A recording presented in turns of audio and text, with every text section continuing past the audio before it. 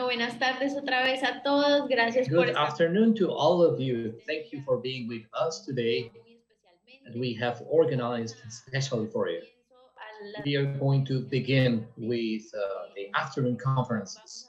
And in this section, we are going to talk about this uh, art uh, care of children with cancer. And for these uh, conversations, we are going to invite Dr. Luis Ricardo Gonzalez. A pediatrician from the National University Master in Palliative Care, Pediatric Palliative Care from the University of Spain, specialist in pain medicine and palliative care from Cruz University in Bogota, creator and member of uh, palliative care of La Misericordia Hospital, and with Innovar Salud. is a pioneer project in Colombia in order to create pediatric palliative care at home. It's an honor for us.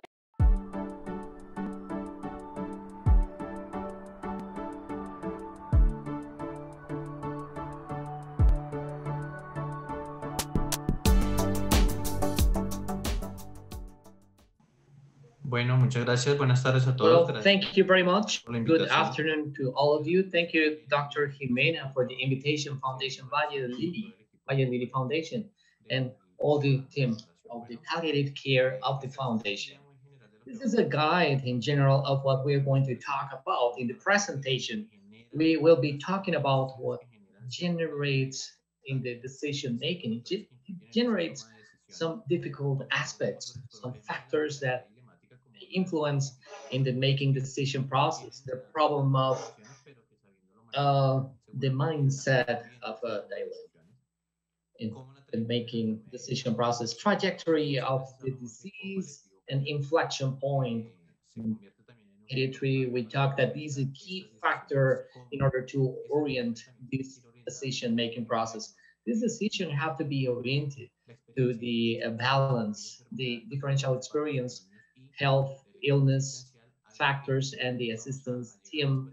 Something we are going to get to after all this. There is a key phrase that I have that I am going to show you. And finally, tools in the making decision process. So we are going to, we could begin uh, the presentation with this, but I believe the main part for this final part is uh, the aspect, or the aspects I am going to mention. So I would like to start with a phrase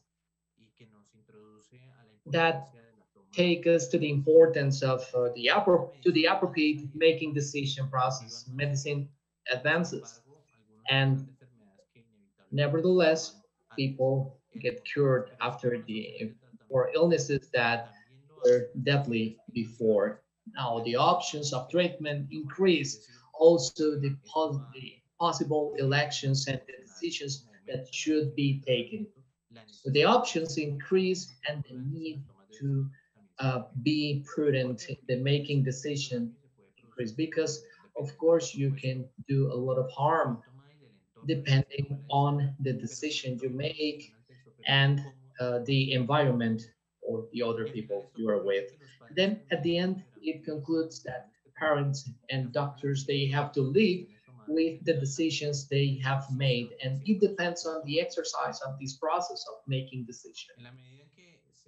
In the measure that we exercise the medicine and we participate in palliative care with children and their families, there are decisions that generate some type of difficulty. Some of them generate moral stress, ethical stress. So those are the ones I am talking, showing here. One is the adaptation to diagnostic measures and therapeutic measures. Uh, definition of limits, uh, the takeout or start of intervention, and starting of measures that were not taken into account before. So extremely vital orders for non-reanimation, advanced vital support for the exercise of palliative care, and also for those who are immersed in the intensive care units or urgency uh, particular interventions at the end of uh, the life, um, artificial nutrition, mechanical ventilation, and transfusions. And then the option, if there is a diagnosis, we are going to see that later because in the environment or the absence of one diagnosis, there is a difficulty in the treatment and diagnosis in the search process and then the process of therapeutical measures, the adaptation of them, because it has not been a surprise, the environment, because there is not a clear diagnosis. We cannot proceed. So we're going to talk about that later. Starting from that point, I believe it is important to identify what are those factors that make influence in the making decision process. Because we as doctors, we have to direct the tools and advise on that process. The first thing is the experience that they have about the experience, the disease, uh, the family, the professional team. We are going to see uh, well, the experience is different for the child, for the family, but also is different for the professional. And we think that we all see that in the same way. We all carry the same process, but we are not in the same stage of comprehension of the disease. So this is the first factor we have to approach for the making decision. Understand that the making decision process is not the same for all of us. The age of the patient, what it allows us to understand is how the patient is going to participate in this decision making. And if the patient understands the disease, uh, the condition, and the patient, well, no matter the, that the age he or she has, is the way the family and the team, uh, health team, uh, understand this. The values and perceptions. I would like to say it is quality of life. It is not the same the quality of life for a certain family or other family. It's not the same for the patient, uh, Peter, or for Juana. It's not the same quality of life for patients and for the assisting personnel or team. So the perception of quality of life is not the one we have as doctors or or, or team. Is it is on how we have the ability to explore what implies for them, for patients to have quality of life, because we can we can explore in this term. Relationship and and therapeutic link in this the type of making decision type of decision that we make. Is not if we start with one antibiotic or we are going to do some reanimation uh, trials or we do a one diagnosis procedure therapeutical so the types of decisions that are made those are factors that imply more moral ethical threats for assistance team. So the experiences of that assistance team. So cardiovascular. because it's not the same experto en el manejo de an enfermedades. expert team uh, a team that is so expert in oncological diseases. So it is about the development of diseases.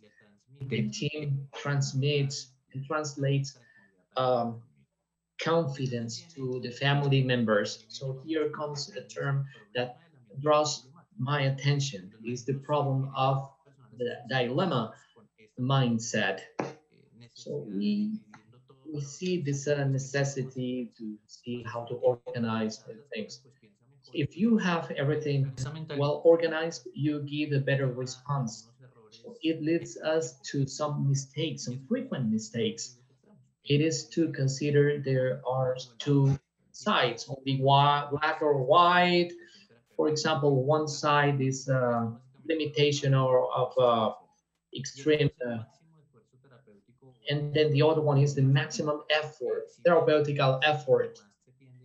This one is the one we mostly tend to do because we have been educated for this. It leads us to a mistake because basically the mindset of, of many is only to save lives.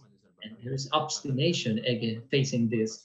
Is doing the work is not only saving life. So we ask ourselves, what is the balance? Then we have to find a balance so here, or by organizing this, it can take us to solve the problem of going to the sides, to the extremes, and, and make mistakes. And how do we get to that midpoint? The trajectory of the disease is a concept that is clear to many who are listening to this conference. We are going to summarize it in something very punctual, is to see the whole uh, frame the whole movie, we could say, from the beginning to see how has this been. It is not the same story of, let's put an example of one um, problem that has responded to a treatment than older patient that didn't respond to the treatment and then goes to a transplant because of uh, problems that the person had and maybe doesn't respond. So it's the same diagnosis, but the trajectory of this disease is different. So we can go move forward in this, but the trajectory of the disease is the whole movie and then with one picture we cannot make decisions. We have to see the whole process the whole movie. So this is the first concept i would like to share with you. Let's sit down and dedicate ourselves to define what is the trajectory of that disease so also that we could transmit the parents what is the trajectory of the condition of their children because when this is not clear we are in certain stage or certain impression. So this inflection point basically is determined as the moment that is prudent and appropriate to redefine our therapeutical objectives and also define those diagnosis and treatment objectives. So here there is a phrase that is mentioned here that it is each disease has their its own trajectory. We have a biopsychosocial trajectory framed by its meaningful events and transitional events related to this. So each family has a, a biopsychosocial trajectory that is different. So what is the balance to optimize diagnosis and treatments? This is part of what we want to find here. So here we have two fundamental factors, all that is technically possible and something that uh, could be of benefit. Relatively, it is easy technically possible because each institution for each institution, but in the benefit, it goes hand in hand with technical because what is better gives benefit changes the trajectory of the disease. But how do we achieve this balance? So technically, what is possible, we have to see what is technically possible and what is technically uh, be of benefit. This process has to do with identifying with what I mentioned, the difference between diagnosis and condition. We have to identify also these two words that have, have a, a load of meaning that is huge. Needs, those things that um, children and families blame for blame because uh, I'm not sleeping in my bed, I'm not in my house, I cannot see my dog, or my mom is crying all the time because nobody else can take care of me. So those are the needs that the child mentions. And unfortunately, many times those needs are not taken into account by the assistance team because the assistance team, it is more important the level of sodium, uh, if the uh, treatment was done or not. So how do we do to process or perform those uh, needs to meet those needs? So we have to put everything in the same box. Of course, we cannot mix them, but if we know how to identify the needs, we can identify the problems, but also to explain the families that there will be moments in which we have to face the problems, but it doesn't mean that we don't pay attention to their needs. So we can uh, keep track of the needs of these patients and their families. So the difference between diagnosis and condition, needs and problems. So at the end, it takes us to understand that when we have no, when we have clarity this, or even if we have clarity, we understand that the experience of health, disease, between parents, children, and the assistance team. What are the factors that affect the experience? First, we are going to understand that there is a complex role between parents and doctors, because for parents, the role will be to protect, to defend, and it is a natural role. The diagnosis of uh, one disease that has no possibility for healing, uh, the parents will have in their minds, in their beliefs, that they have to protect their child so that's the way they think and the way they understand the situation. And it's not going to finish until there is the last minute of life of that child. So the role of doctors it is to defend, of course, but they have to treat the conditions, to treat the diseases, to treat patients, and to treat families, of course, and to bring this um, medical treatment with ethic and the intention of uh, benefit. So it seems like those two concepts are apart, but part of what corresponds to us is to understand this role of protection and defense that parents have. Another factor that is important is how we understand what the child is. Basically, we can talk about uh, it's, a, it's a being with future when the future is uh, threatened and with all these expectations are uh, threatened or in danger by one disease, there is a change for the family and it changes the notion or, the understanding of this disease. It's not only to understand that you are with one disease and we have to treat it, but it implies the future of the child and the family. What is the meaning of this um, diagnosis?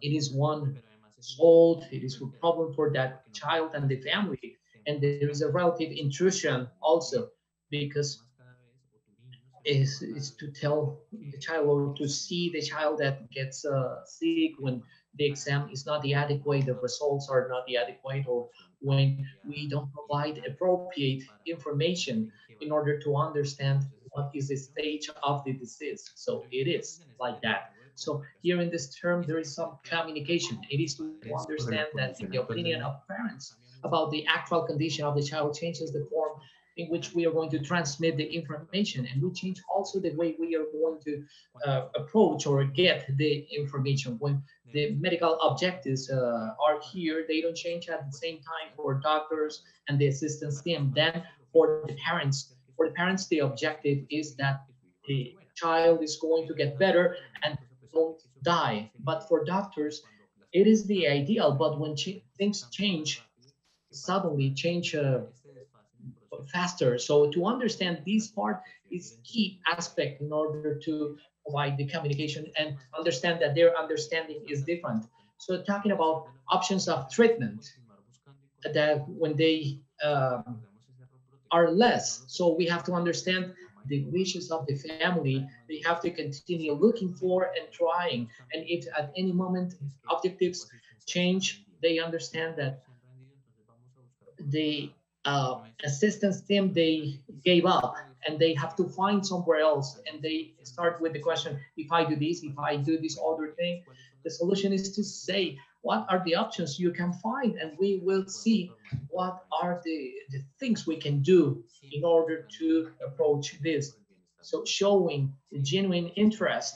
If the interest is in okay you you didn't understand me you are not going to help me so we lose the track. So the idea is to continue trying to do something that is continuous. So the inclusion of the disease makes the parents to change the strategy constantly and redefine what implies the future and the normal, what is normal. So when a parent says, I see my child normal, but from the medical point of view, it's not like that. There is a variable of a trajectory, change of condition, change in, in perception, and then the information that is um, given meaning and use for parents and if the child is, uh, is ill or is in a good condition so yeah okay yeah it's okay because it's not dead Yeah, it, it, it is the expectation that it's going to get better. So the answers and the questions that we make so the perspective of parents can be determined by you know factors that doctors cannot change, but can understand this first step in order to achieve, not necessarily to change it, but adapt to the needs of the child. Taking this, the diagnosis and the condition, the needs and problems, it is valid to ask ourselves those questions in order to establish strategies. What do we promise to patients and their families? Are we clear with the objectives of diagnosis and therapeutical diagnosis? We explain in good way the meaning and use of this uh, diagnosis? Having these three questions clear, if we ask ourselves these questions, and probably the answer is not the most satisfactory answer, we can find some other tools in order to optimize the making decision process. Y entonces, ¿qué hacemos to con provide the information to the patient and the families. And then there is a question, where is this uh, midpoint? The midpoint is prudency. Prudence, I'm sorry, and therapeutical diagnosis. So how do we achieve this? With all that I mentioned previously, achieving to establish this midpoint, this uh, therapeutical limitation, but also to make the maximum effort against obstination. What are those strategies? This text that I mentioned here establishes a series of questions that doctors, professionals uh, ask facing the making decisions with parents. What is the strategy? What's the position that you establish or set? Uh, limit the options. We provide the information. We deliver information. If it doesn't work from the medical part, we establish this as an option. Many others said, okay, to appropriate of the decision. And when we say what to do, and I don't make it to participate of the decision, I just inform. Others, what they do is to keep neutral, not to participate so much in the influence of the decisions. And others simply tell the parents all the information and tell them, hey, you, you are going to make a decision and take your own Solamente answers. So the point is, what is the assessment here? The idea is to orient this to a making decision process that is shared in order to avoid extremes or, or sides, side of uh, pattern, uh, fatherhood, fathership, the perception of values and wishes of parents and child and children, and on the other side is basically the maximum autonomy. You delegate everything, so they make the decision, and then there are things that can start from essential decision from parents, but other decisions cannot. So though that is another strategy is to avoid to appropriate from all the decisions and then to also to avoid leaving all the decisions to the parents. So we have to locate ourselves in the frame of shared making decision. And this implies many things to define the best interest of children, Tienen equipo con los padres y con la It is-. Not only from doctors, it is with the parents too, the capacity of participation of children and their families, of course. It should be based in understanding wishes and expectations from uh, children and adolescents and families, their families, to avoid this uh, external fatherhood or fathership. So these processes, we have to understand that this tolerance, people also expect this from the assistance team. So I put this to reconcile with the tragedy. So we see at this point ways that are bad, or very bad. Unfortunately, there are situations in health that the result is not the one we want or we expect, but there are some difficult situations that we have to choose the less harmful or painful, what provides the best thing for the patient, but understanding that both are going to be uh, are, are not going to have good results. So the other thing is to understand the capacity of the institution. We cannot do a transplant of uh, intestine because if we don't have the capacity, because we and it defines the good relationship between parents, doctor, and and child.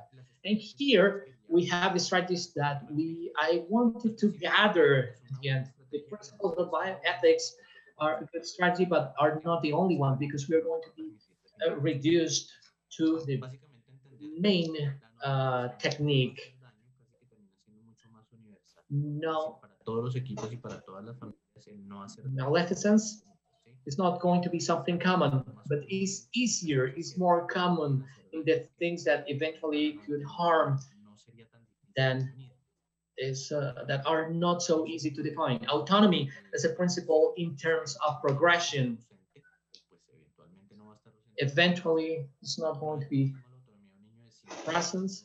It's not the same to treat autonomía five-year-old child, seven-year-old child, or 15-year-old uh, adolescent. It's progressive, and in this exercise, we have to padres, to understand what is autonomy and to orient parents in the best way. Beneficence identificar en estas familias y is por eso la to necesidad de- en identify in the families and the need of uh, the team to define the interest, biggest interest of the child, y todo esto know what is good, what cannot be good. que no es lo mismo para todos, ya lo It is not the same for all of them.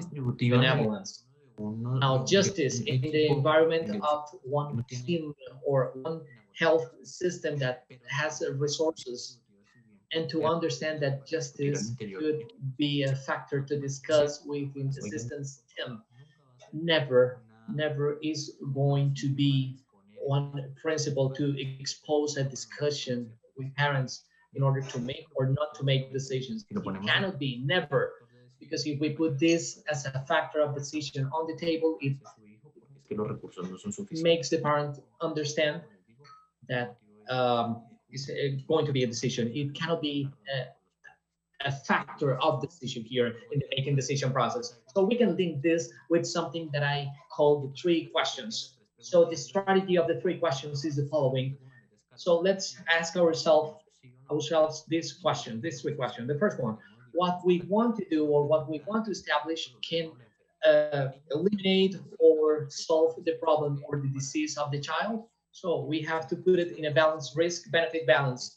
So the second question, it achieves to control the course of the disease or the problem that the child has. If the answer is yes, yes, going back to to the point of balance benefit. So if the response is not, we go to the next question and it achieves to alleviate the symptoms or suffering process. If the answer is yes, yeah, of course. Okay, let's do it. And we know what is the objective or the goal. So the three questions will define, will help us establish what's the objective of our intervention. If after the three questions we have responded that it's no, so we are in front of uh, intervention that is physiologically feel and all these are not uh, certain questions but they go hand in hand in the making decision process. Something to talk about before the absence of one diagnosis. This is very interesting because it establishes before the Características que one child with uh, pues symptomatic uh, characteristics. So we provide a treatment by pediatry or any other specialties that participates on this specific therapy if we identify the problem. But if we don't have one clinical stability and we have some uh, complication or doubts, we start this uh, y en la coordinación de pediatric palliative care based in this form. We continue with cares adapted to the symptoms of the child, and then we do advanced planification planning for the care, and in parallel continue with the diagnosis efforts. So not to have diagnostic is it doesn't take us to limit in the making decision process in favor of the child and their families. So this is very important to take it into account. So more of the communication strategy with parents, we have to be available to talk with them, but also to be able to see the child, not because we got to a point that there's not one specific curative treatment to stop seeing that child because we, tr we transmit abandonment. So there will be options uh, in the first in, in discussions is the transition to that directed uh, care. So participation of uh, pediatric palliative care doesn't exclude. So we cannot assume that all parts take to the same point and to the same time. Points are defined by the same factors. In summary, the recommendations to understand the values and the influence that parents have to make a make making decision process with the parents, ask them what they want to assume and they want to do in this shared making decision process. Uh, have spaces that are quiet, private, consult, talk with children and parents in language and repetition in the communication and teamwork. So work in teams. And finally, to remind you, the trajectory allows explain and plan to identify needs and problems is a condition, inherent condition in this process. We have to discern between diagnosis and conditions, communication, making decision that it should be shared, have this therapeutical prudence. Think always in the three questions in this environment of shared making decision process. That's what I wanted to share with you. I wanted to put many examples because I have many examples in my mind but uh, of course, uh, it's limited time. Thank you very much for this time. This is my emails, so you can ask me questions and share your experiences. Thank you very much. Thank you, Dr. Gonzalez, for this excellent presentation. A very complete, practical presentation, and I believe it is one of the most challenging scenarios in children with uh, threatening conditions. So it is the making decision process. So that's why I'm sure that it's uh, going to be very worth. So thank you very much.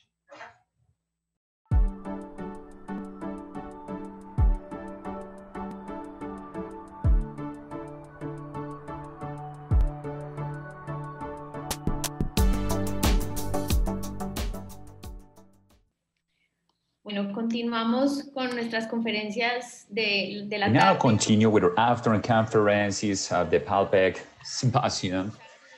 Right now, we are going to listen to the Dr. Joanne Wolfe with the conference Goals of Care as a Fundamental PPC Intervention.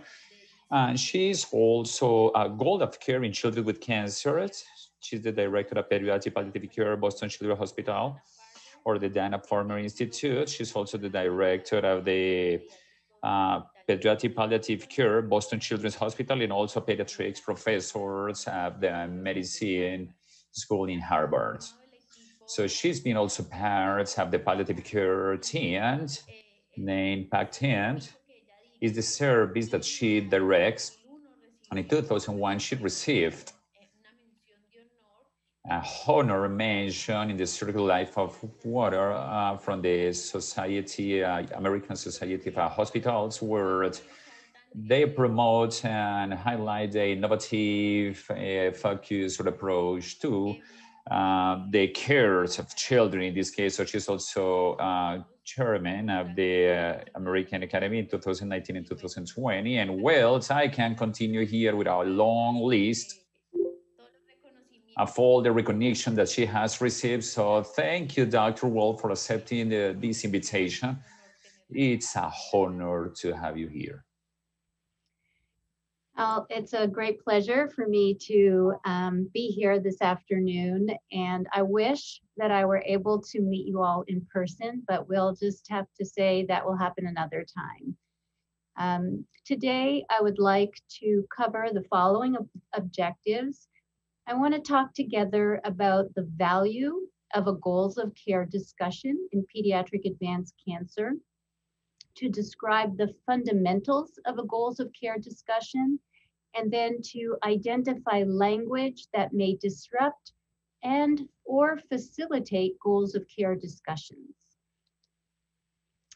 So to begin, I want you to think for just 10 seconds to yourself why communicating is so difficult. Specifically, is if you if you think about it, we're all born with the capability, most of us, uh, that is, to communicate either verbally or sign language, but in some way it's a natural, innate um, a skill that we all develop as we grow up. At the same time, it seems that it's hard uh, to get it right as healthcare professionals. And so the question is why? And I'll share some data that might answer this question. First of all, there's little education in how to develop strong communication skills. So for example, in this study, 80% of pediatric hematology oncology fellows or trainees reported that communication training is important. However, 32% only received communication other than just watching someone, direct observation. And then, the, so one of the challenges is that communication is in, in medicine, in advanced care, is a skill, and we're not being taught how to do that skill. And the other is attitudes. So, for example, in this very early study, Dr. Hilden and, and, and colleagues asked oncologists what is the greatest barrier to difficult conversations? And what, what we answered as oncologists was It's because of family unrealistic expectations, family denial, family conflicts, patient denial. So, what does that suggest to all of us? We find these conversations difficult because we blame the family. We put the responsibility on them and not taking the responsibility ourselves. If we look at, on the other hand, what happens when we speak with families, in these conferences, about 73% of the time, we providers speak, and only 27% of the time do parents speak. And most of the time, we're talking about medical information, and only 20% of the time are we actually trying to understand parent values and preferences, and of course, those of our older patients as well. And yet, family satisfaction, their, uh, their satisfaction with these conversations is inversely related to how much time the physician speaks. So as the physician talking goes down, family satisfaction goes up. Further, in our recent study led by Dr. Danielle DeCourcey, we defined advanced care planning um, and asked bereaved families what they thought about the importance of advanced care planning. And we defined advanced care planning as typically made with your medical team to help others understand the best way to care for your child and fulfill your wishes in the event of an acute illness or sudden deterioration in your child's condition. And families rated the importance of doing this advanced care planning, and a majority of families said this was very important. So even though we think families are in denial and don't want to talk about it, families are telling us that this is very important. And in fact, families also told us that they mostly want to understand, do these kinds of conversations either at the time of diagnosis or perhaps when they realize their child has a serious illness but has not yet deteriorated, or when the child's care team believes that he or she will not survive, but certainly not at the very last minute. So I hope that you agree with me that having conversations that plan in advance what's most important to patients and families is a high priority and that we need to have the skills to, to have these conversations. And I call that a goals of care conversation. So let's I'll, let's talk about a particular situation with a patient by the name of Mary that I took care of many years ago. Mary was diagnosed at six years of age with a central nervous system low grade glioma. She lived in a rural area with her, her parents and her older sister, and she was a very upbeat child who loved school and friends. So, my question to you to think to yourself is Does Mary need a goals of care discussion? Do we need to understand what's most important to this family in order to take care of Mary and her family. This is an early diagnosis of cancer that's very treatable.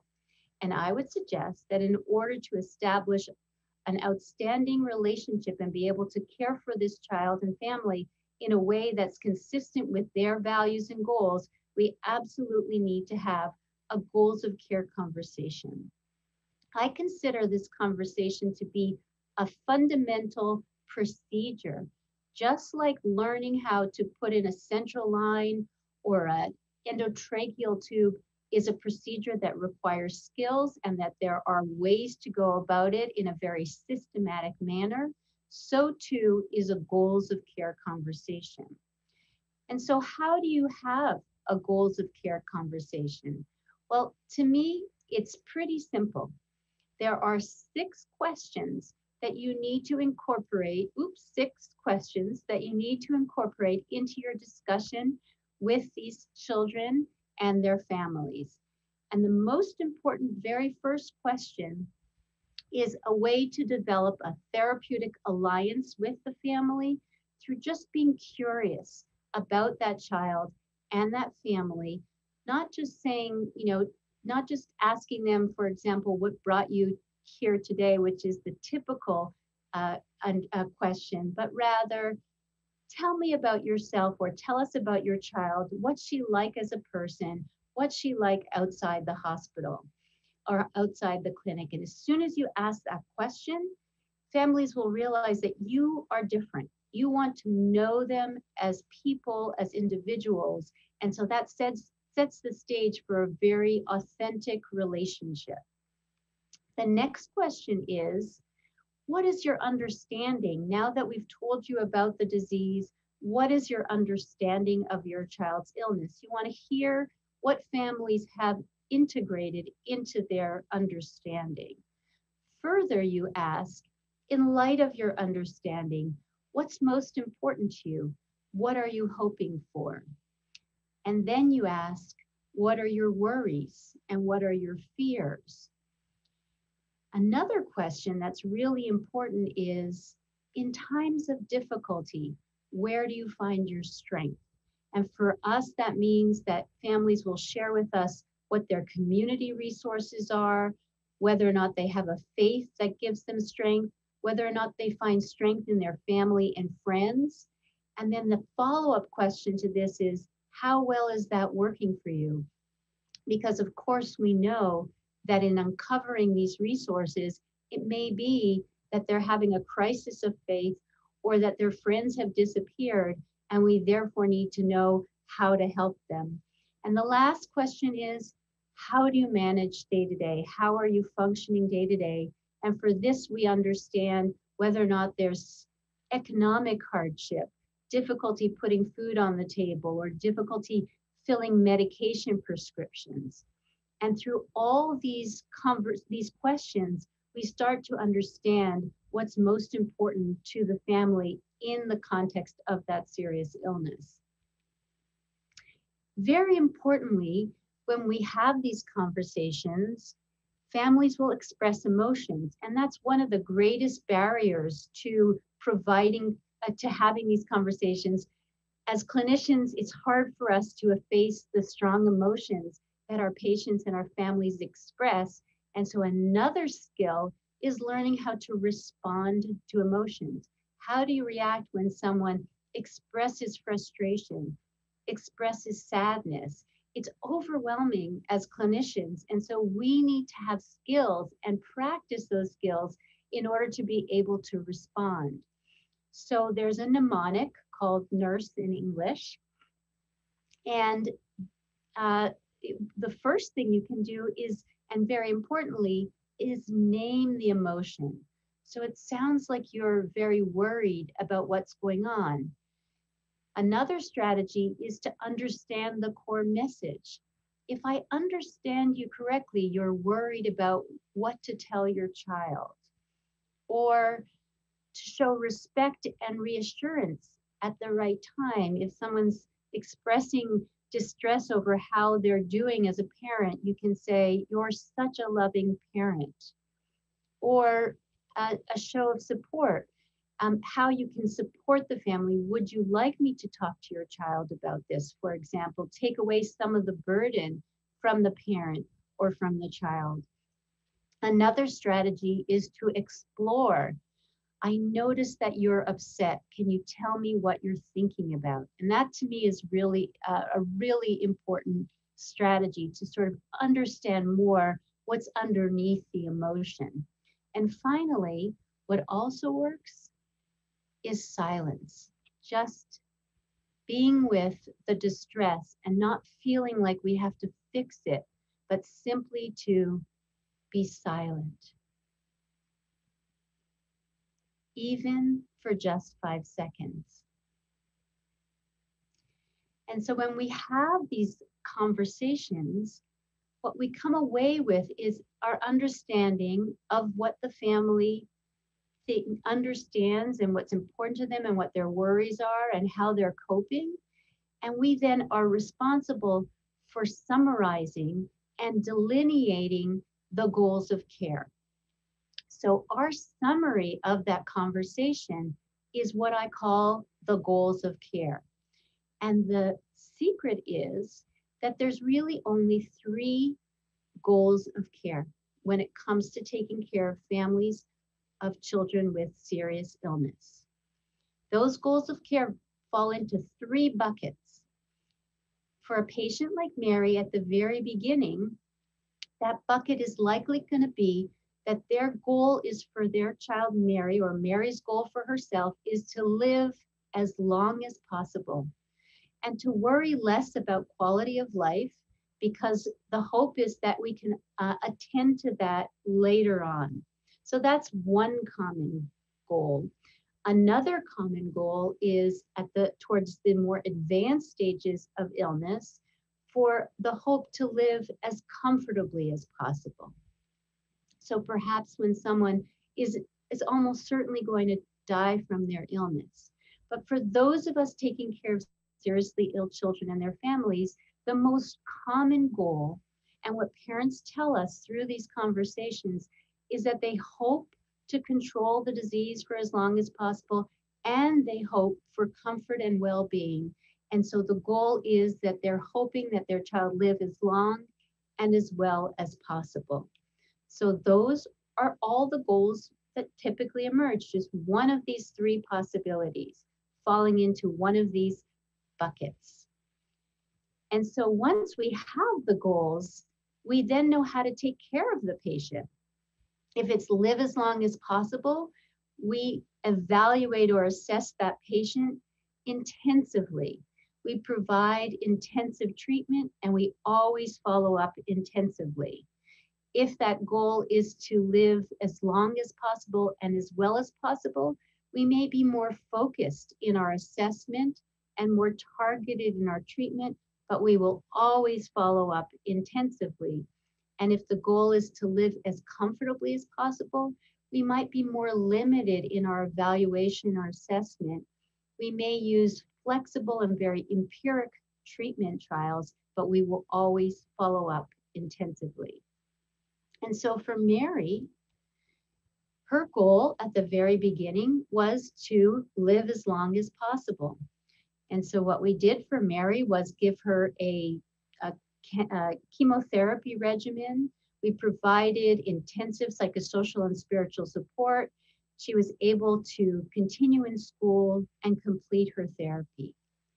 And then about 10 years later, Mary presented with very severe pain in her back and headaches.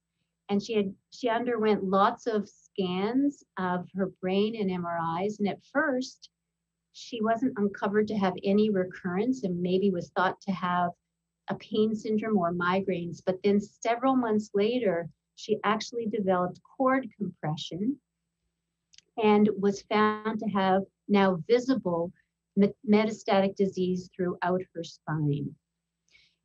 And she had continued to live with her parents and remained passionate about school and even started to paint. So, what's next?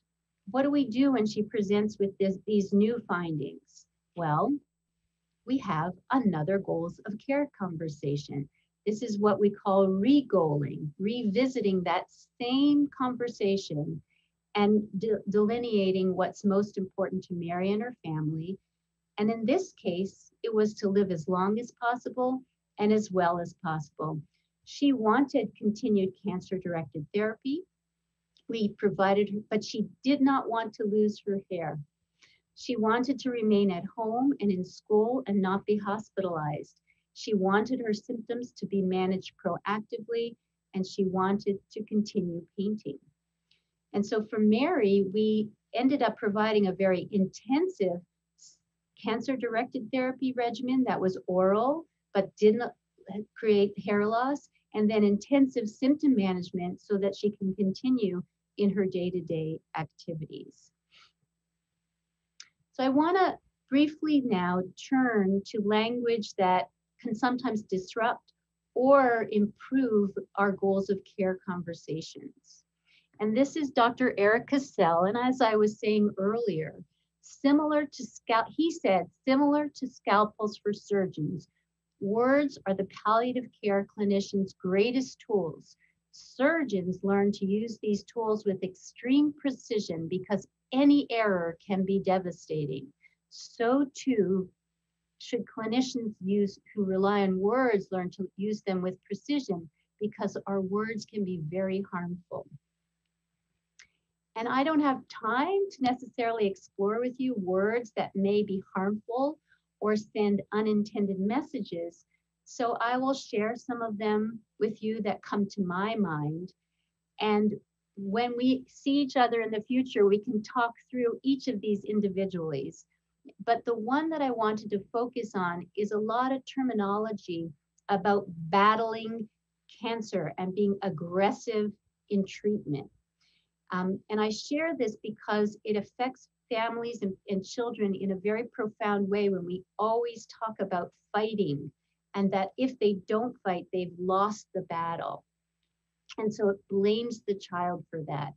I'm going to very briefly read to you a this was a mother's eulogy for her son Nate who died of cancer. And at the very bottom of this eulogy she says the following. Often we hear about a child battling cancer as if he is at war with his own body. But this metaphor is unfair. It assumes that the child somehow has control over his disease and plays a role in his own success or failure to cure it. Nate understood the complexity of his situation and chose to focus on making every day count. A few months ago, Nate posted a picture of himself on Instagram and was angered by someone's comment, keep fighting. To the rest of us, it seemed a perfectly reasonable comment, but Nate said, why do people think I spend my time fighting every day? I am just living like everyone else. So let's be careful about our words and how they send messages to our patients. I will close with helping to give you some phrases that I find helpful and what I call my toolbox phrases. I keep them in my pocket for times to sort of promote conversation or help me with difficult conversations. So these phrases are the icebreaker. So one icebreaker that I told you about, how to start a conversation is tell me about yourself as a person, what you're like outside the hospital, for example. Another icebreaker, let's let's imagine we're talking about a little baby and we don't yet know what that child's life is outside the hospital. So I might say to a parent, tell me about your child's name. How did you choose your child's name? And there is always a story. It could be I read a magazine and I really like that name. Or it could be my child's named after his great great great grandfather. And in that, we hear about the family, and families love talking about it. We already talked in detail about responding to emotion, but my, one of my favorite responses when someone is upset in front of me and I feel upset and I feel paralyzed for words after some silence, I say, I can't imagine what this mu must be like for you. And that's a, an expression of empathy that is often very well received. So I pull it out of my pocket and I use that expression.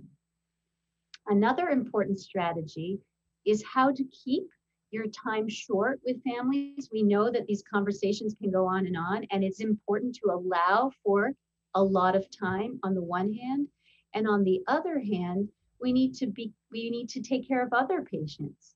So my strategy is i have about 10 minutes. I'll start a conversation or i have about 30 minutes so that i set the conversation up with a time frame. And then when i'm getting close to the end of the conversation i summarize. So what i'm hearing is so that you can you could speak back what the family said to you and you can also say i'm aware of the time. And if you haven't finished the conversation then you can set up a time to follow up again. Finally there are some additional phrases that often come into play when i'm trying to help families with decisions. And I might say, loving parents have decided this for their child, and equally loving parents have decided that. Or sometimes when I'm trying to help other doctors and clinicians think about a new way of solving a problem, I speak up by starting off very gently. I wonder, I wonder if we should consider this. It's a gentle interjection. And then the other strategy that's very helpful is to acknowledge a parent who might have uh, hopes that are that are very hard to fulfill, and you might align with the parent by saying, "I wish that were possible. I worry that time is short. I wish and I worry." So those are some additional phrases to have in your toolbox. And what if you make a mistake? The best thing to do is to simply say, I'm sorry.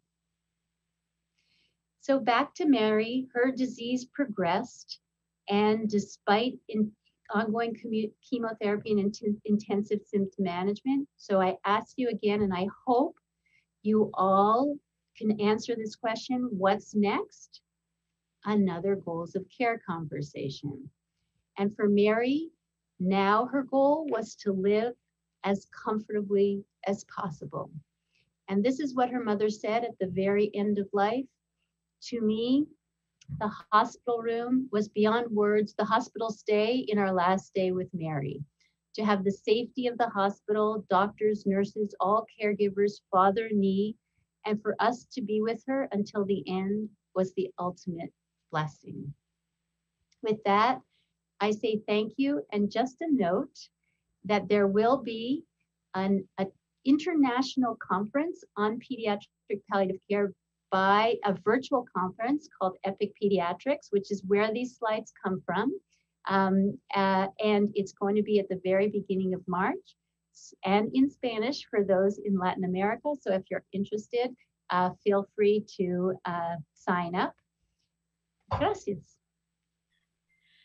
Doctor Wolfe, muchísimas gracias, como siempre. Dr. Wolfe, thank you very much. Every time we see you, we learn a lot, not only uh, about the words, but also in the way you express and you transmit those words.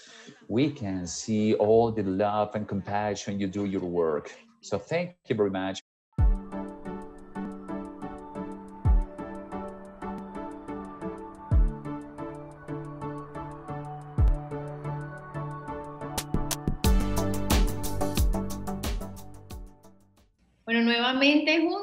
Okay, welcome back.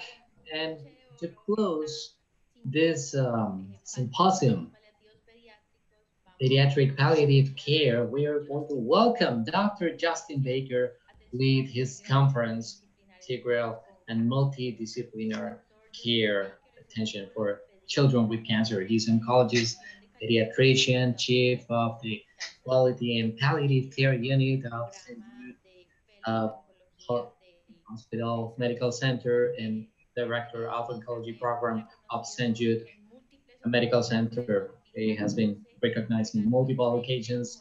He won the prize as the inspirational leader of the American chain of uh, palliative care. And in the year 2008, also one more recognition by the American Academy of uh, Hospice and Palliative Care as one of the researchers, young researchers in the area of palliative care. is an example and a model to follow for all of us in Latin America. Thank you for being here, Doctor. Friends, it is such a privilege to be here. Uh, as Dr. Wolfe mentioned, the only thing that I would wish more than being here is being all together, actually in person. Uh, hopefully next year um, or coming soon. I'd like to talk to you a little bit today about comprehensive and multidisciplinary care of children with cancer. And, and I really want to compliment uh, Dr. Jimena Garcia on the creation and kind of working through the agenda because I feel like it's really built nicely um, with with Dr. Gonzalez and then Dr. Wolfe and and now leading into some of the things that I'd like to share with you. And so this has been just a wonderful afternoon so far uh, I want to speak to you a little bit about um, some things that Dr. Gonzalez mentioned. And when we think about palliative care and, and when we think in this context about comprehensive care, uh, I like to think about palliative care as quality of life and, and that we must focus, just as Dr. Wolfe mentioned, we really have to think about comfort and quality of life as a key priority for so many of our patients and families. And, and the word palliative, many people don't know what palliative care is and don't really understand that word. And, and the word actually means to cloak or to cover. And, and I put these pictures up here because when you think about palliative care, I'm actually a palliative oncologist, meaning I'm a palliative care specialist and an oncologist. And I want you to think of these either holiday sweaters with the koalas on them or with my koala outfits up for when we dressed up as Halloween as this extra layer of, of care that is there to, to cloak or to cover. And then I want you to think of the word compassion, because as Dr. Wolfe mentioned and, and was speaking so articulately about and wonderfully about from her experience and it, we really have to recognize that by suffering together with our patients and families, that's what compassion means to suffer with by suffering with them, we're able to take some of that suffering off of them. And this is in a very therapeutic manner that I'm describing here, uh, but I'll try to give you some specific techniques as we think about this. So our objectives for today are to talk a little bit, a little bit about some of the barriers to holistic care in the care of children with cancer. I'm going to describe and give you some rationale for multidisciplinary relationship-based care uh, in their care. And then I'm going to demonstrate a technique and, and as a skill, show you a little bit about uh, a way to promote multidisciplinary collaboration in your setting. Uh, and as, as uh, Dr. Garcia has mentioned, these slides will be available to you um, at the end. I'm going to come back to this multiple times because I think this speaks to the need, tremendous need for holistic, a holistic approach. Uh, many, many years ago, um, Cicely Saunders introduced us to the concept of total pain. I want to talk to you a little bit about total suffering. When I think about the disease that I treat as an oncologist, I think about uh, that being cancer. When I think about incorporating as a disease uh, what I do at, in palliative care, the disease is suffering. And when we think about a holistic approach to treating the child with cancer, we really have to think about treating both that cancer as well as suffering. And when you look at suffering, you can see all the different ways that it comes into account. You can think of suffering as it comes from disease management, suffering from pain and other symptoms, psychological distress from depression, anxiety, or other fear, social issues, cultural values, beliefs, and practices, and how those may be impacted. In fact, as Dr. Wolfe mentioned, uh, uh, she mentioned Dr. Eric Cassell. One of the things that he said is one of the greatest things we lose in the midst of illness is relationships. And the impact of illness on that, on relationships, causes tremendous suffering. Spiritual issues, existential or transcendental issues. There can be practical uh, issues related to activities of daily living, or as Dr. Wolfe mentioned, going to school or, or, or just trying to facilitate the day by day. Certainly, as there's disease progression, we can speak about suffering related to end of life care and the suffering that grief and bereavement uh, entail. And I think what I'd like to do right now is just pause for a second with this slide up there and think to yourself, how well equipped are you to deal with all of these issues, every single one of them. To be an expert in prescribing high dose opioids for pain, to deeply look into the existential distress of a suffering child, to think about the social context of trying to transition a patient into uh, school and allowing them to continue with school and with their homework and helping them be as, as normal as they possibly can in those moments. That intimidates me asking those questions, thinking about all of this. This is why we all bring so much to the table, and we all must contemplate how we can address suffering as a team in this multidisciplinary fashion. One of the most important tools, and Dr. Wolfe so beautifully and art, uh, so beautifully and artfully described this, one of our most important tools in addressing suffering are our ears. And when you think about God made us with two ears and one mouth for a reason. That's what my grandmother always used to tell me. And she would say, Justin, it's always better to be listening than having your mouth constantly moving. And Mark Nepo says, to listen is to lean in softly with a willingness, with an open heart to be changed by what we hear. And interestingly, in the context of suffering, of multidisciplinary collaboration and care, listening is one of the greatest tools that we can have.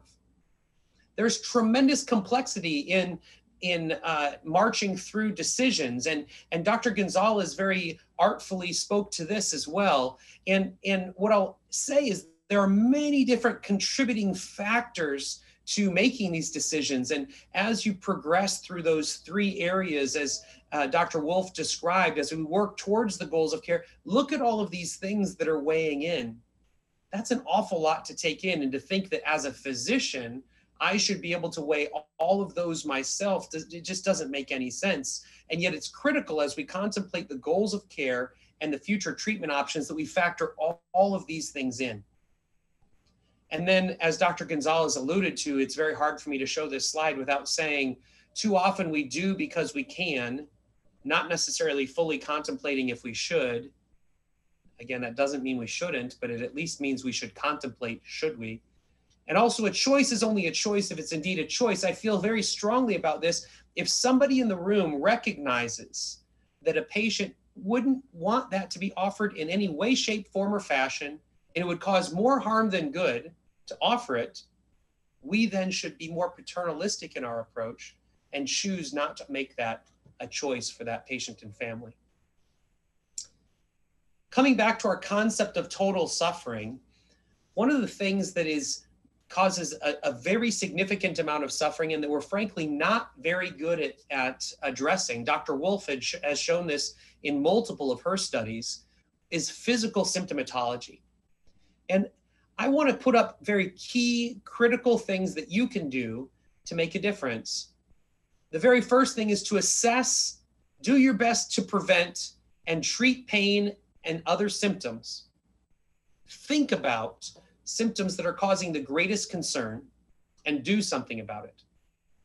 I recognize that there are many clinicians here who perhaps are not physicians. There, there may be chaplains, nurses, social workers, psychologists, uh, physical therapists. You may think to yourself, it's not my job to assess a patient's breathing issues.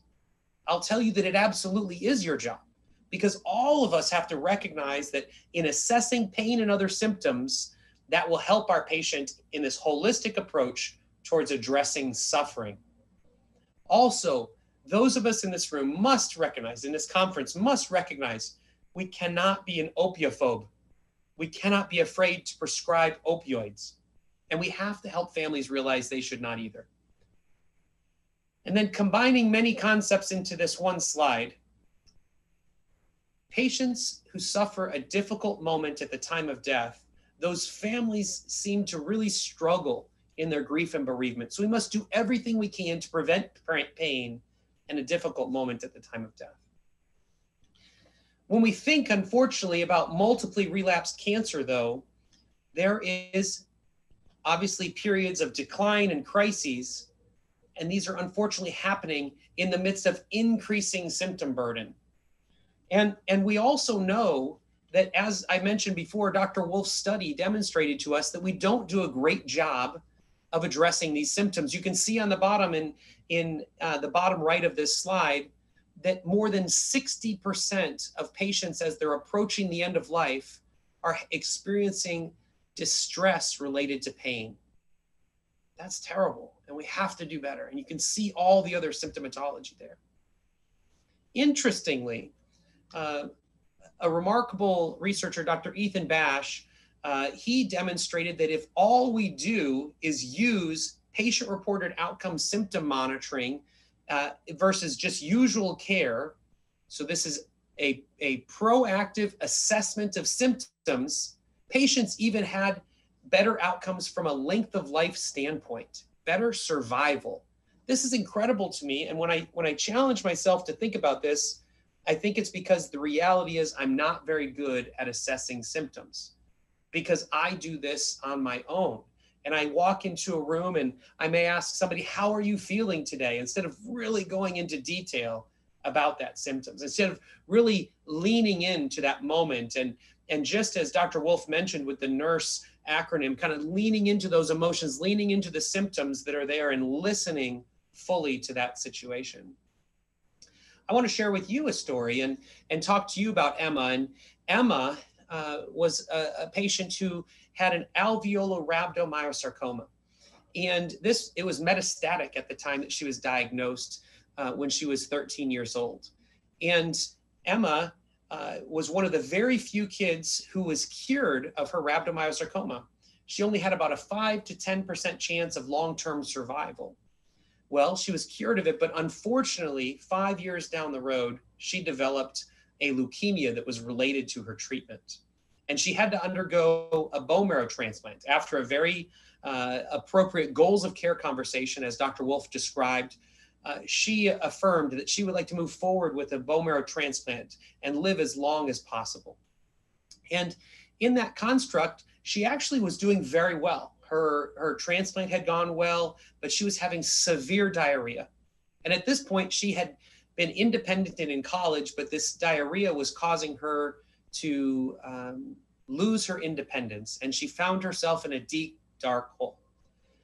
I sat down with Emma uh, for four consecutive days, and if you looked at how much diarrhea she was having on Tuesday, Wednesday, Thursday, and Friday, it was the exact same amount of diarrhea. I was unable to do a good job intervening to decrease the amount of diarrhea. But she said, talking to a compassionate listener made her feel like a new person. In fact, you can see this is written up in the New York Times. She felt so strongly about simply sitting and feeling heard about her diarrhea that she contacted the New York Times to have them write this story. It is makes such a difference to recognize, just as Dr. Wolfe mentioned, that each person's reality has to be individualized. We have to understand what is causing the most suffering for that particular person. In reality, uh, Emma in this situation didn't need a doctor. She needed somebody to lean into that moment and talk with her about how difficult these times were. One of the other things that we also have to recognize is that we must create an opportunity for very ill children to receive care and die in their preferred location of death, even if that location is at home, and even if it's extremely complicated. I think some of you may say, well, you know, Justin, you're talking to me from St. Jude Children's Research Hospital where you have a lot of resources, or, or Dr. Wolfe comes from uh, Harvard and from Dana Farber Cancer Institute where there's a lot of resources. I put this picture up here because actually one of the best hospices that I've been to is in Zimbabwe, Africa. And this picture is our interdisciplinary care team meeting in Zimbabwe, Africa. And they provide phenomenal care with very, very limited resources. And so we must commit to supporting patients and families in whatever setting that they would choose. And, and uh, I think this is a wonderful example of multidisciplinary collaboration to address suffering in the context of progressing illness. Our team here, we do, we have a, a, an amazing team and we're able to provide care in the home setting that is really wonderful and helpful. And we have multidisciplinary care that goes into uh, the home setting with our patients and families. I think one of the aspects that sometimes we forget about in the context of multidisciplinary care of children with cancer and how this can really address issues related to suffering, these children themselves are tremendously suffering their own loss. They are very frequently and regularly contemplating how they're not going to be able to accomplish their own goals of care. And so we really need to think about, and, and maybe I didn't use the right title here when it says legacy development, but we want to help our kiddos and their families think about what it is that's most important to them. And this is why I feel so fortunate to come after Dr. Wolfe, because these examples that I want to share with you were significant sources of distress. And, and it only came about because of multidisciplinary collaboration. This patient on the left here, this her name is Amber and Amber, as she would uh, described to us what was most important to us. She had a terrible rhabdomyosarcoma on the back of her, her throat. Her psychologist, she confide, confided in and said, The part that is most difficult about knowing that I am dying is that I am not going to be able to see my baby sister. It was only because of that conversation and, and the depth of which she really felt strongly about this that we decided to move forward and, and offer her a, a, a tracheostomy, as you see here. And because of that, she actually had this picture later where she's holding her little sister and, and we were able to move forward and, and, and allow for her to experience that. Or uh, in the middle here, you can see uh, these birthday parties, and this is a cake. Our social workers sent this picture to me yesterday. One of our patients who is approaching the end of his life, it's not his birthday, and he wanted to have a cake with minions as a part of it to celebrate his family.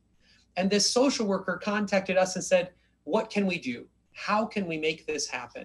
This is what is most important to Camden at this time. And we were able to help them come up with this cake. I can't believe this is a cake, but it is a cake that you're looking at in the middle there. Or our, one of one of the really incredible patients I cared for, her name uh, was Lizzie. And Lizzie, as she was approaching the end of life, she was working with our music therapist. And our music therapist asked her, Lizzie, what is it that's most important to you?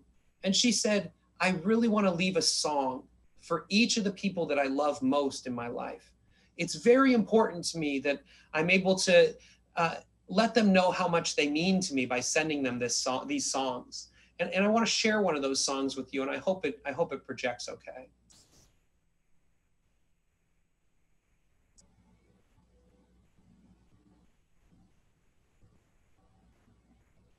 Jimena, I can see your face. Are you able to hear that or no? Mm-hmm. Okay. no worries. I will tell you that she selected the song that I was playing there as Perfect, the song by Ed Sheeran. And she sang it along with our music therapist and then gave that to her mother. In speaking with her mother, Lizzie's now, she died about three years ago. In speaking to her mother, her mother said she listens to that song almost every day. And we were able to accomplish that for her only because that music therapist, that multidisciplinary collaboration recognized that the thing that was most important to Lizzie at that moment was to provide these things for those loved ones. One of the things that we also must make sure to recognize is we want to try to prevent regret. Suffering can come in the form of regret. When I talk to bereaved families, it's not uncommon that they will say, Oh, I just wish I would have done something differently. I wish uh, I would have approached things differently. So we must do everything we can to prevent regret and provide effective anticipatory guidance when we think about the regrets of, of uh, bereaved parents, they may have regrets about choosing or not choosing the last course of chemotherapy. They ha- may have regrets about not talking to their child about their child's soon coming death.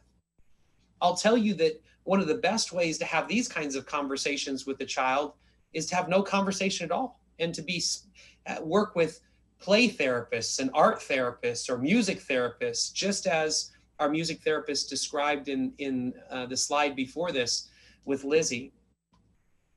Not choosing the best location of death, as I spoke about, sometimes uh, because parents don't feel well prepared, they may not feel like they chose the best location of death, or perhaps didn't involve enough psychosocial support or even palliative care uh, early enough.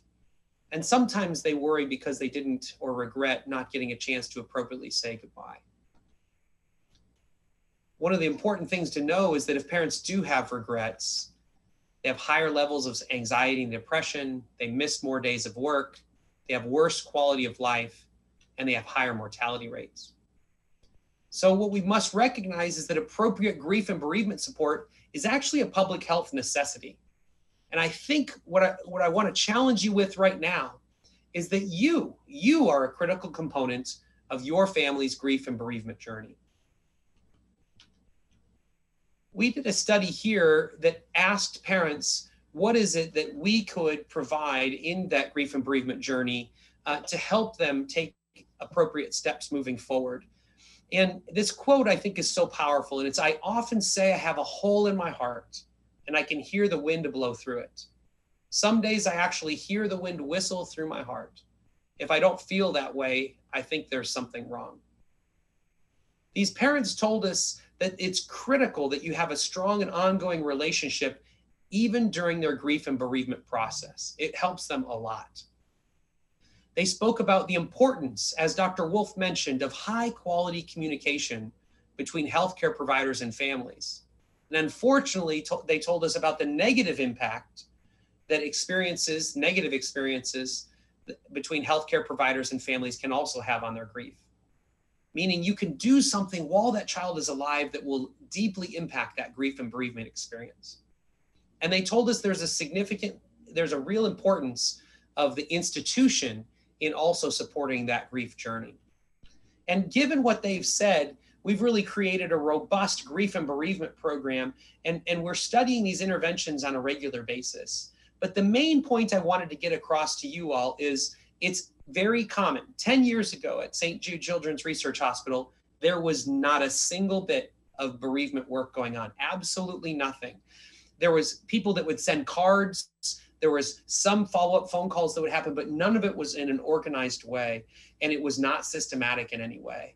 And it started with just one person, Dr. Clark, who now champions all of this work and and now works with bereaved parents and and has a really profound we have a really wonderful program here that i'd be very happy to speak to you about in the future finally when you think about multidisciplinary collaboration uh, i can't close without saying recognize that access to pa- specialty palliative care is a right not a privilege just as many people have already spoken about and, and this particular talk addresses, there's no way that palliative care people can be in charge of issues related to suffering.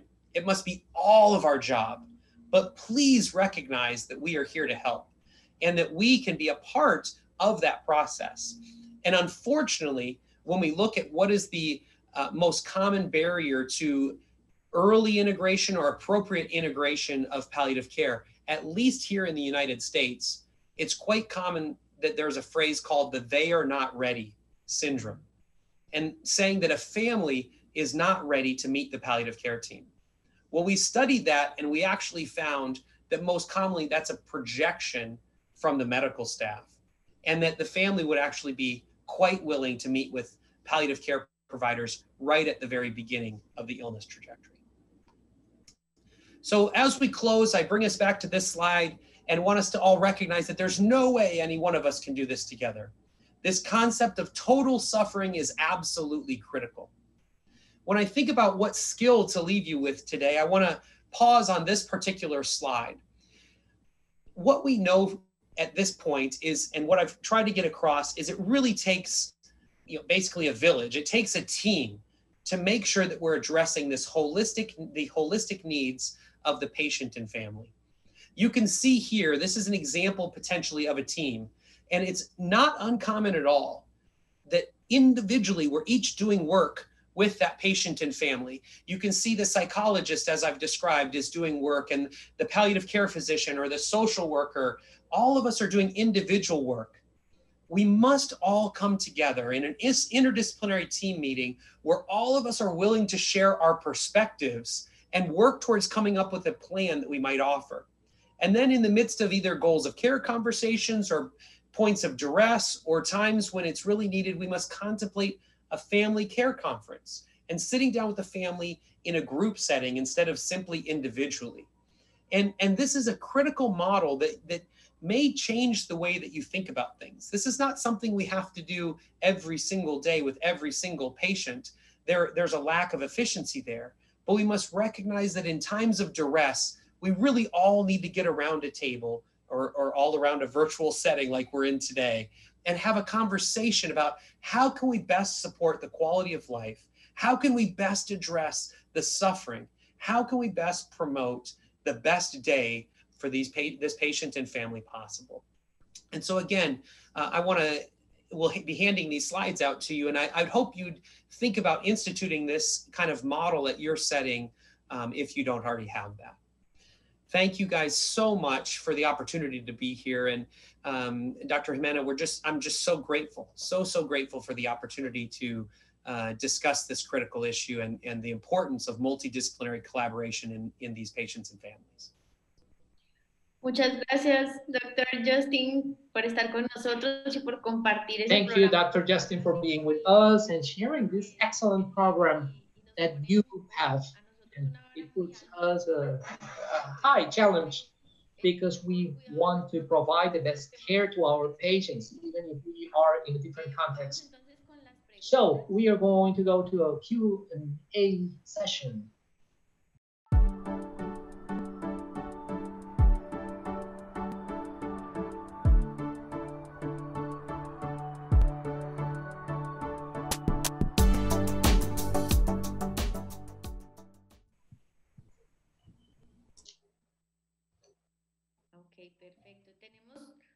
Varias preguntas del... All right, perfect. We have several questions from the public, for the audience.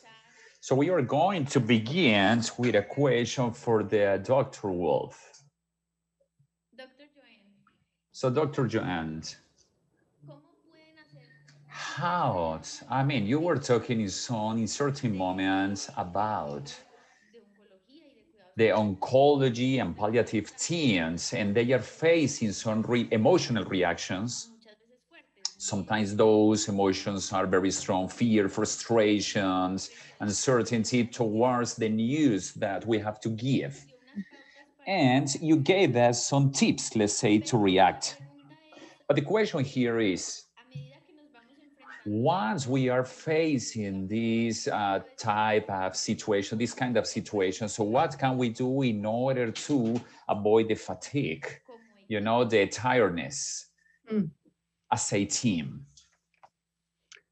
What a great question. Um, you're right that even if we have great skills and experience in communicating, to bear witness and empathize and um, sort of embrace uh, family suffering, as as Dr. Baker alluded to, um, that takes a toll on each of us as individuals, and it is critically important to figure out how to take care of oneself.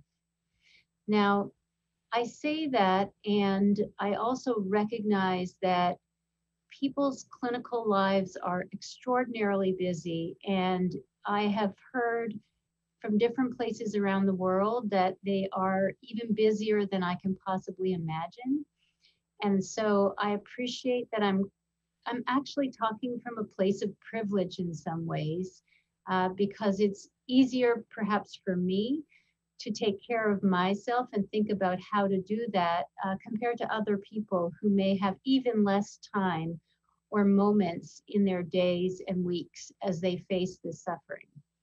That being said, it's no excuse. And um, I think that self care doesn't have to take up even a lot of time in order to be greatly beneficial. So I am going to actually give the podium over to Dr. Baker, who taught me about a quick strategy, even in moments of the day, about how to take a deep breath and be able to move forward. But before I do that, I'm going to say that in general, we need to think together as teams to think about team strategies about self care. And then we have to take responsibility as our own individuals because one size does not fit all. And so for some people, solace and rejuvenation might come from attending church services. For another, it might be to take a half an hour walk in the woods or on the beach. And so, in order to do what works for us as individuals, we have to make a self care plan and stick with that self care plan. But I'm going to ask Dr. Baker to teach us about how to take care of ourselves in the moment. Thank you so much, Dr. Wolfe. Uh, it, it is amazing um, to have, again, this opportunity to speak to this first question. As I was cutting slides because I had too many slides, this was the one section I left out. And so thank you for the opportunity to speak to this. Um, the there is an acronym again in in the United States here in English that is called STOP. So S T O P. And it's actually a mindfulness technique. And I'd like for each of us to do it right now because we're going to practice it, not just hear about it. So again, the S of stop is actually stop. So we stop what we're doing.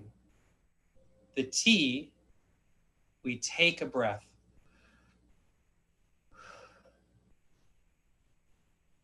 The O, we observe our body. And in this moment, I'm sensing that I was a little bit stressed in my shoulders. So I'm trying to release that stress a little bit. I'm continuing to breathe deeply. And I'm centering myself in this moment. And it's only when I'm fully centered that I P, proceed. So you can use this in all of your interactions with your patients and families. You may come from a very difficult moment with where, where you perhaps were doing a goals of care conversation as Dr. Wolfe alluded to and, and, and again articulated so well the steps to. You may even cry as a clinician in the middle of that. But as you step away and step out of that room, make sure before going to the next room that you stop, you take a breath, you observe your body, all of that before you proceed. And that will make sure you're centered in the moment. And then you'll, I already feel better. I already noticed my tension in my shoulders and even here in my chest going down as I'm simply breathing deeper and slowing myself down. So it's a very simple technique that if employed throughout the day can make a big difference. One last thing I want to say, and this again gets very much along the lines of what Dr. Wolfe mentioned. It's a very common phrase that we use here. Self-care is not selfish. It is critical for your team, for yourself, and for you to make a big difference in all these patients and families' lives by being able to be 100% present with them. Perfect. Thank you. Muchísimas gracias. Mm, bueno, Thank you very much, Dr. Baker and Dr. Wolfe. Um, I hope that everybody pay attention to this because sometimes we have very difficult and tough days. I also would like to ask a question to Dr. Luis Ricardo. His presentation was uh, very practical about a decision-making process in children with these features or characteristics. So you're explaining I mean, these uh, three question stirs and answering yes or no. And uh, depending on the answers, we are led to make the made to make the best decision for this child. Is there exist any recommendation for registering this decision-making process in the clinical history? I mean, is there any specific something we need to write down before or after?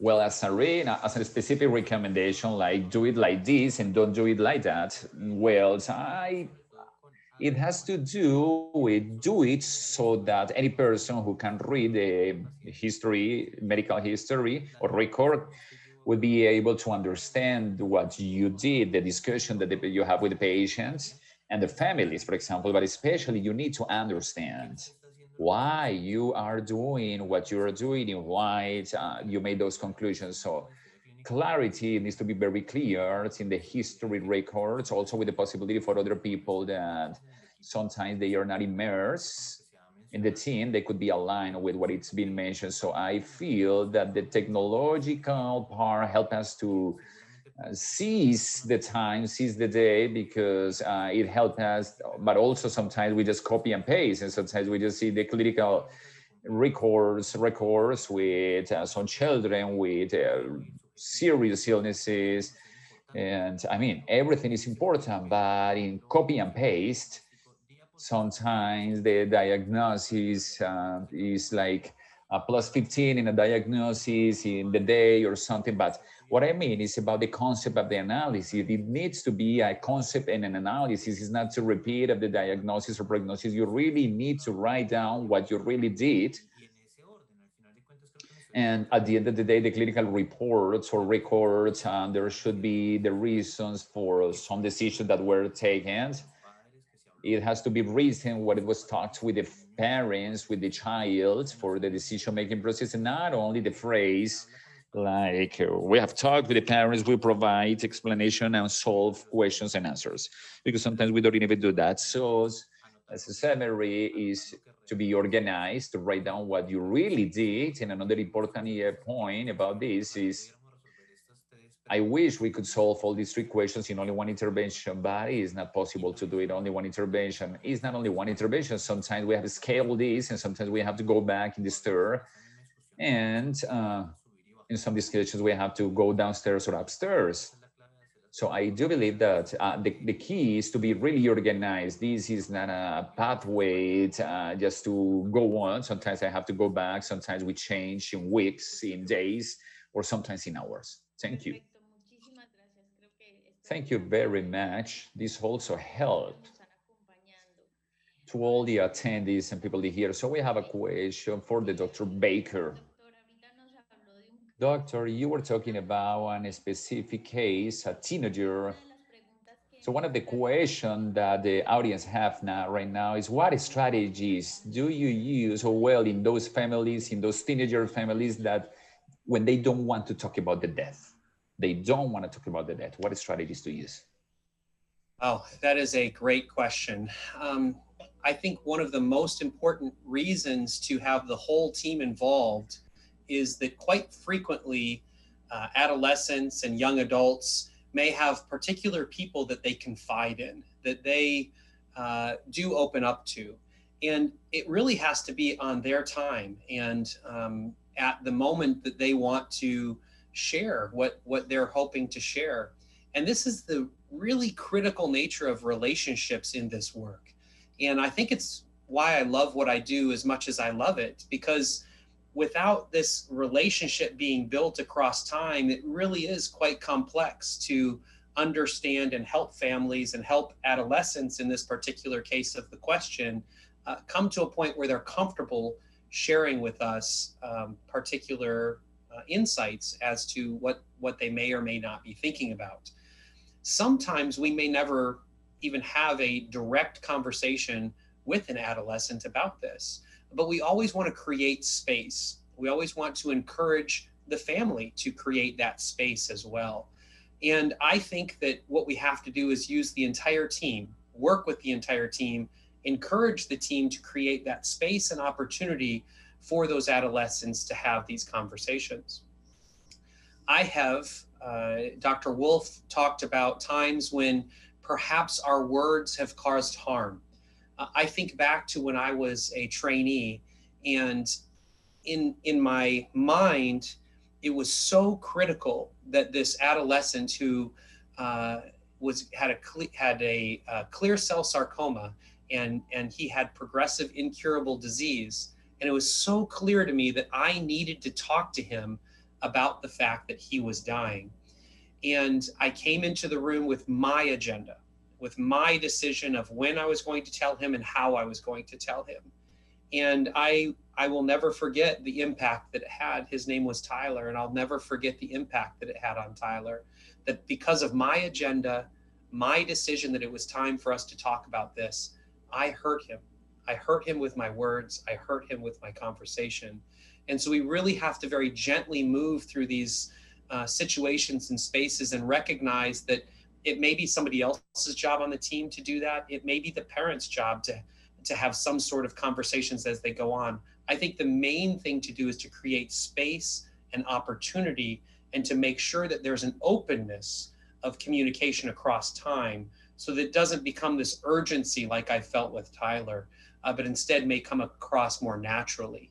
Um, I also think that there are real wonderful opportunities with therapists, art therapy, music therapists, uh, through all of these other activities where perhaps an adolescent or a child won't tell us exactly what they're thinking, but they'll begin to draw a picture or sing a song that may give us insights as to their recognition uh, that they're approaching end of life.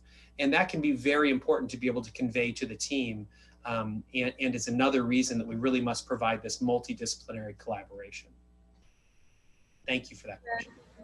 Gracias, doctor Baker. Yo pienso que a Thank veces you, Dr. Baker. I believe that sometimes as 18, we feel a lot of pressure hablar sobre estas uh, to talk about those things when we see that the patient is, well, let's say getting worse. But uh, what you're saying really, really uh, relieves us a little bit, or because there are some cases where possibly we will not get to that point. We will try it, of course, but Doctor Wood nos quería decir algo. Dr. Wood, uh, you want to say something, right? Yeah, I just wanted to um, agree uh, with Dr. Baker and add that I, I really uh, think it's important to recognize that we sometimes in the healthcare profession come from a different culture. Even like a medical culture in and of itself is very different from individual family cultures.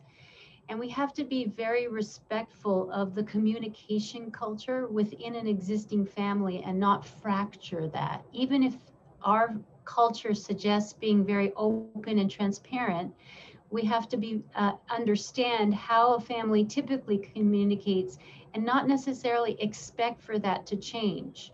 And then the second thing I just wanted to add was that at the same time, we might be able to teach our parents how to talk to their children, just like we're teaching ourselves, and it may not come naturally to know how to communicate with adolescents or younger children about these very serious matters. We might give them some tools. So, for example, the hardest question that we face as clinicians and that we have a lot of emotion around is if a child or a parent asks, Am I going to die? That can be like a paralyzing question, right? Same for parents. Can you even begin to imagine what it would feel like if your child said, Am I going to die, mommy? Oh my goodness.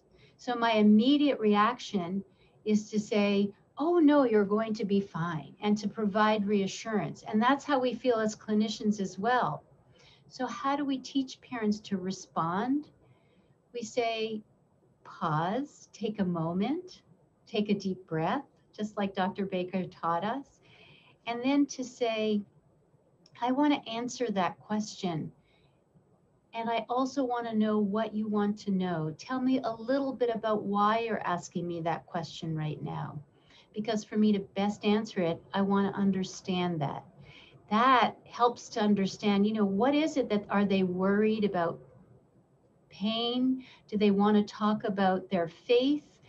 Um, we don't know until we explore a little bit more. And that gives us also, it gives us a moment to collect ourselves and then to be able to, and to teach families to collect themselves and then to be able to respond.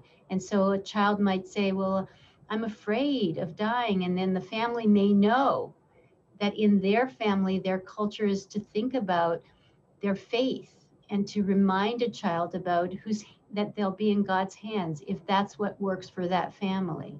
But we don't know until uh, the family explores further. So we have to teach our parents and just to re- return to my initial point and respect their family culture, their family communication culture.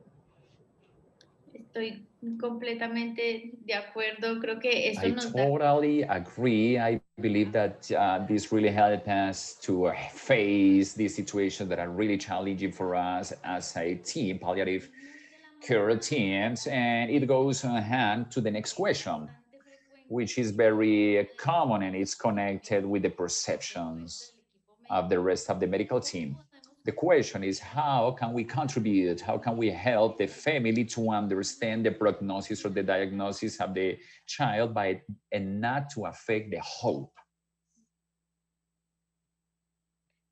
Doctor Poole, me gustaría que de Uh, Dr. Jones, maybe I'd like you to tell us a little bit. I mean, that is a scenario where so we are going to prioritize the comfort, how to manage the hope with the families of the patient. Another excellent question, and I think it's really important um, to uh, understand a couple of things. Some of our, uh, some of the research that has been done So a lot of the work of Dr. Jennifer Mack um, has shown that when we provide information to families, even upsetting information to families, first of all, they want it, and it doesn't necessarily take away their hope. So we, we can't worry that by being truthful and clear and compassionate in how we communicate, that it's going to um, damage or hurt our families. In fact, it helps them. Um, we don't take away hope through our prognostic disclosures. And we know that families hold hopes for um, even and, and when we when we give information about prognosis, we might suggest to a family that the chances of uh, disease uh, eradication and long-term survival are 50-50, let's just say, and they want information. And sometimes we have to ask them the, the way in which they would like to hear that information. When we say that, we also say that for your child, we don't know the outcome, that there's a lot of uncertainty, and that our, our hope is to help you live with that uncertainty and to prepare for the best and also prepare for the possibility that that won't won't happen. So we hope for the best and we prepare for the possibility that that won't happen. And in in being able to hold multiple hopes at the same time along with families uh, we provide them with that added layer of support the cloak that dr baker talked about that doesn't destroy them or take away their hope I, I think Dr. Baker has something to add.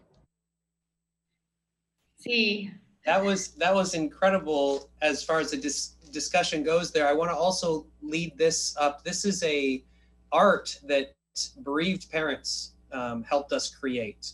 And uh, I can send this article around uh, Dr. Jimena so we can share this. I completely agree with Dr. Wolfe. One additional piece is even when the uncertainty is removed, meaning that a patient has incurable disease, families continue to potentially use terms that make us believe that they're in denial. But they created this art with us to tell us, please allow us to water those hopes, to use our words to speak about our dying child as if they're going to be here with us forever and will be cured even as we are releasing them and recognizing that they are going to die very frequently the words that they use may make us worry that they don't understand. But the reality is they fully understand. It's just so terrible that they can't verbalize it. Or the things that they use to verbalize is just continuing to deeply hope and frankly believe that perhaps there will be an alternative outcome, but also believing that their child and knowing that their child is very likely to die. And I, I these parents encouraged me so much because when when I was coming through my training, I always thought it was a one way or another, and it was almost like a seesaw. Like there was understanding or there was denial. But the mm-hmm. reality is, just as Dr. Wolfe mentioned, both hopes can be held in that same time. And parents may be speaking about their incurable, their child with incurable cancer going to the prom or going to a dance or graduating from high school while at the same time making decisions to uh, make funeral plans or make decisions for after the child dies. And so we have to also allow space, and it gets to the cultural issues that Dr. Wolfe was describing there. And I think very frequently uh, we attribute denial to patients and families that really are not in denial. They may be using words or terms that, that concern us, but they have integrated the things that we have told them before. They just aren't speaking in, in that same way that we that would make it so clear to us. So I also think we have to be um, cautious uh, to make sure that we aren't harming uh, patients and families by continually, you know, abusing them almost with the information and saying, "Don't don't you understand?" Because so frequently they do. Me, me encanta haber escuchado esto porque es una... I really like uh, to hear what you're saying because it's a very common situation. Always, always we believe that the parents are in denial. And uh, well, I do believe that is a concept that maybe we are abusing or it's overusing and is not what we are really seeing. I mean, to close this question and to go to the last questions, Dr. Wolfe, Dr. Joans, in one of your articles, uh, I remember in regards uh, uh, about uncertainty, the palliative care needs to help the families to navigate in the uncertainty, but it means that we as a team, team palliative care team, we also need to accept the uncertainty. And I believe that right there, that's the difficulty. Sometimes we, I mean, we've been trained, we want black or white, black or white, the two choices. And well, that uncertainty, I mean, sometimes makes us a little bit crazy. So if we do not accept that uncertainty is going to be very difficult to transmit to the families. So that is something that I remember from your articles that you have published. So well, thank you. We're going to the last questions is from a pediatric uh, I think Dr. Ricardo had something to add also. I, I don't want to, uh, did you, Dr. Luis Ricardo? Did you want to add Sí, something? sí, yo, yo realmente quería, gracias doctora. Well, yes, uh, thank you. Thank you. I really wanted to, I just wanted to mention a couple of things.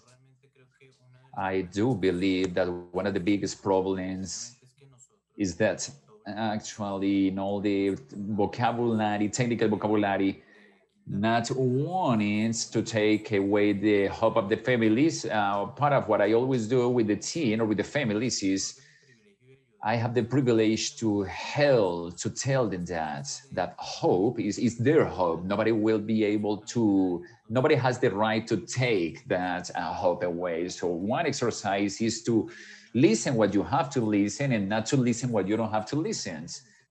So we need to be really, really careful because maybe uh, you can start thinking like, I will not listen to that because maybe that is important for me to be able to uh, surf in the process. So there are some things that I always say that what is not curable, is, I mean, sometimes we help the families to return to the first, uh, that expectation when we say, for example, there is nothing to be done. That is another sentence that, um, for example, Dr. Joan mentioned that what not to say, what not to say, like we, there is nothing that we can do. No, that is very damaging.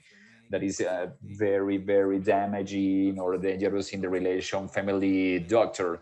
So to return the hope to the families is to use some sentences or phrases that have been mentioned. And I can tell you, it's not possible that as doctors or physicians, we have studied for many years and finally we say to the patients, there's nothing to do.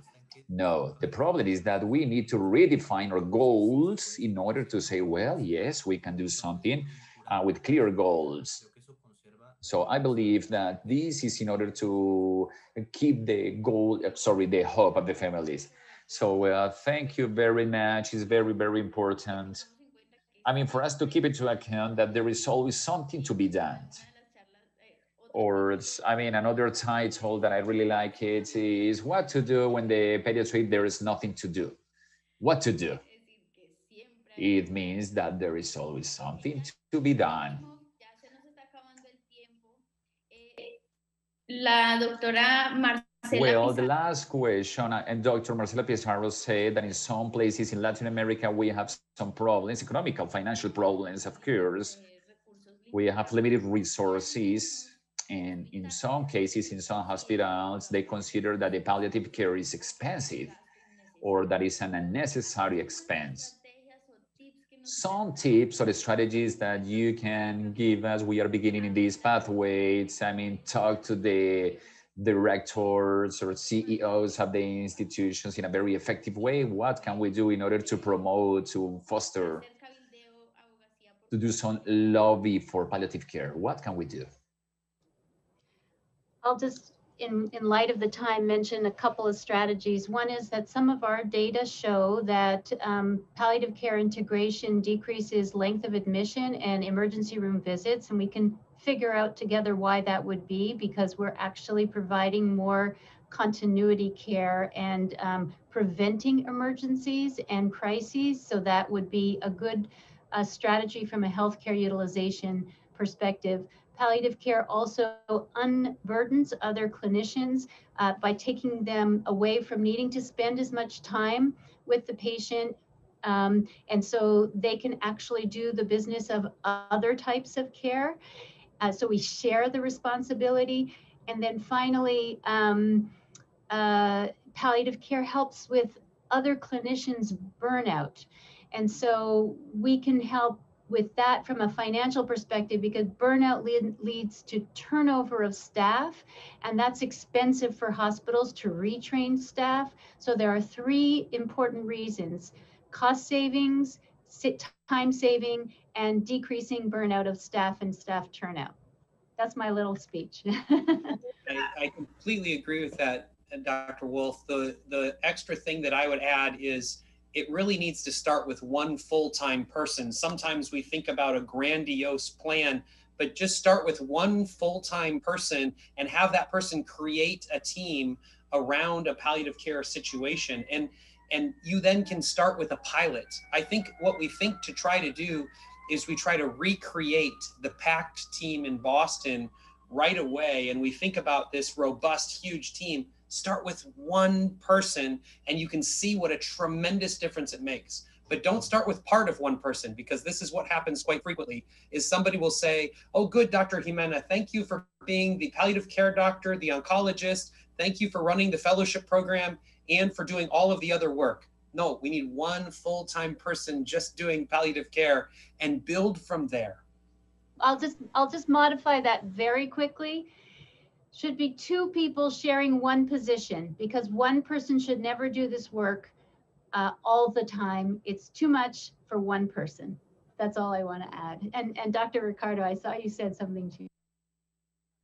Gracias, doctora. Mire, yo, yo yes, quiero... Thank you. I would like to tell you how was the experience in the Misericordia hospitals and all this happens around because we were trying to make many decisions. That there were many decisions difficult to, to make. There were many children and they have they were in pediatric service but also there were many children that were or there were many decisions that for the team were very very heavy from the ethic and moral standpoint or point of view. So right there, there was a necessity to establish in a service, knowing who the service was going to be directed to. So my recommendation by uh, listening to Dr. Bacon Wolfe, doctor, is to identify the population that uh, it's going to be the goal of the attention of the service. I mean, if you have 100 uh, children that are uh, attending in the hospital or the institution or whatever you're working, you need to determine, I mean, basically like the two big groups, the ideal group, those children with um,